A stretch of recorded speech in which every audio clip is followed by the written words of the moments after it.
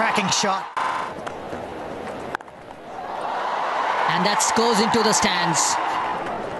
پاکستان اور آسٹریلیا کے درمیان وڈ کو ٹانٹن میں ورلڈ کپ کا سترواں میچ کھیلا جائے گا۔ دونوں ممالک کے درمیان ورلڈ کپ میں اب تک پانچ میچز ہو چکے ہیں۔ آئیے ورلڈ کپ کے ان یادگار میچوں پر نظر ڈالتے ہیں۔ پہلا میچ انیس سو ستاسی لاہور میں ہوا۔ آسٹریلیا نے ٹاس جیتا اور پہلے بیٹنگ کرنے کا فیصلہ کیا اور دو سو سڑسٹھ رنز بنائے اس میچ میں آسٹریلیا کے fast bowler Craig McDermott نے چوالیس رنز دے کر پانچ کھلاڑی آؤٹ کیے اور پاکستانی ٹیم سیمی فائنل میں دو سو انچاس رنز پر ڈھیر ہو گئی۔ یوں آسٹریلیا نے اس میچ میں فتح سمیٹی۔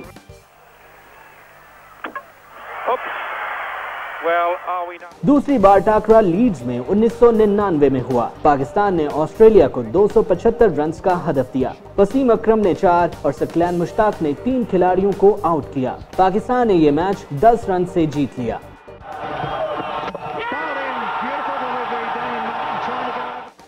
انیس سو ننانوے ورلڈ کپ فائنل میں پاکستان کا مقابلہ ایک بار پھر آسٹریلیا سے ہوا۔ لارڈز کے میدان میں پاکستان کا کوئی بھی بلے باز نہ چل سکا۔ شین وارن نے تباہ کن بالنگ کرتے ہوئے چار وکٹ سمیٹی۔ کلن میگرا نے نو اوورز میں صرف تیرہ رنز دیے اور دو وکٹیں حاصل کی آسٹریلیا نے ایک سو بتیس رنز کا ہدف دو وکٹ کے نقصان پر بآسانی حاصل کر لیا۔ پھر مقابلہ ہوا دو ہزار تین جوہینسبرگ میں۔ پاکستان نے ٹاس جیت کر آسٹریلیا کو بیٹنگ کا موقع دیا۔ چھیاسی رنز پر چار وکٹس بھی اڑا دیں۔ لیکن آسٹریلیا کو مصیبت سے نکالنے کے لیے اینڈریو سائمنڈز آئے اور انہوں نے پاکستان کا ایسا مقابلہ کیا کہ سکور تین سو دس تک پہنچا دیا اور ناقابل شکست ایک سو تینتالیس رنز کی باری کھیلی۔